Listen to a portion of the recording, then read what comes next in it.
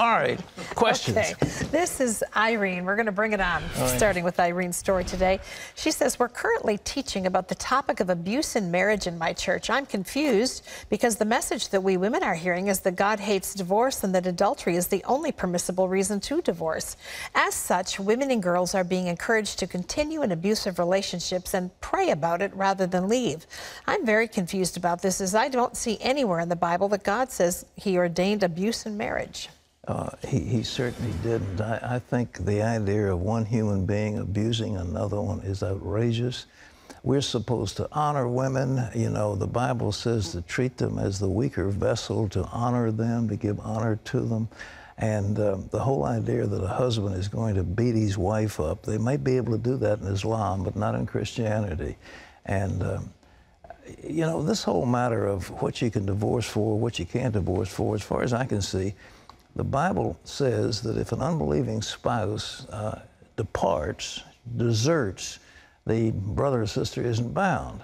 Well, I think there's such a thing as construction, constructive desertion. I think if a, a, spouse makes it impossible to live with them, if they beat up somebody emotionally or physically, um, I think that's a reason for certainly divorce. Now, in terms of remarriage, then you can get into other theological issues. But I don't think women have to stay in an abusive relationship. I think anybody that teaches that doesn't know the full spirit of the Bible. Mm-hmm. Jesus Christ was one who advocated love, not harshness. And the thing that they said in the early Christians, they looked at the Christians and the Romans said, What wonderful women they have because these people were, I mean, they, they, they were godly, beautiful people, and they were honored as such. Okay. This is Joyce who says, I know the New Testament does not advocate, advocate infant baptism. I also know that there are many Christian denominations which place a high importance on this ritual. My question is twofold. Is it right for a local church to baptize a baby born out of wedlock to parents who have no immediate plans to get married? And how should I respond to those involved who are happy and make a celebration out of the, the event? When I speak out about it, I feel like the odd man out. Well, uh in the early days of the uh, Catholic Church, particularly, uh, they thought that infant baptism, they believed in baptismal regeneration. And uh, the Bible really doesn't teach that. But uh, then they said, well, what happens is that the parents uh, consent to the baptism of their children, uh, and therefore, they, you know, they sprinkle or whatever. the New Testament teaches believers' baptism.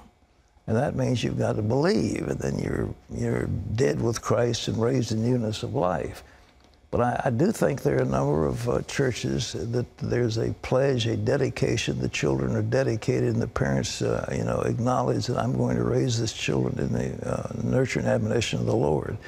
But as far as the church getting going along with some child that's born out of wedlock and the parents aren't Christian, don't purport to be, I, I, I think that's a mockery. It right. is almost just ritual, I think. Yeah, mm -hmm. it's a useless ritual. What else? Okay, this is Adriana who says, My husband is really into computer games, and lately he's been playing this game called ArcheAge. I tried playing the game before, but I stopped because I didn't like that there's a lot of witchcraft, spells, wizard stuff, and praying to these figures in the game. I felt it wasn't right.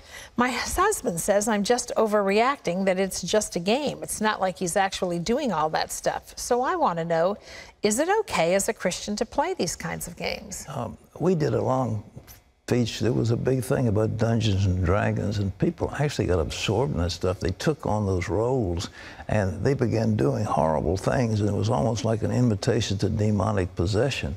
So uh, I, I, think playing some of these role games, I don't know which one they took. I don't do it, but uh, I, I, think, you know, should a Christian do it? The answer is uh, probably not. I think we shouldn't get ourselves involved in something where we're role playing a thing having to do with demonic mm-hmm. forces. All right.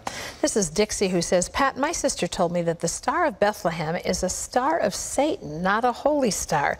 She says Satan put it there to lead King Herod to the baby Jesus so he could destroy him. Is this true? And if so, why is the star always in the nativity scenes? Where in heaven's name do people get some? of the nonsense that they teach.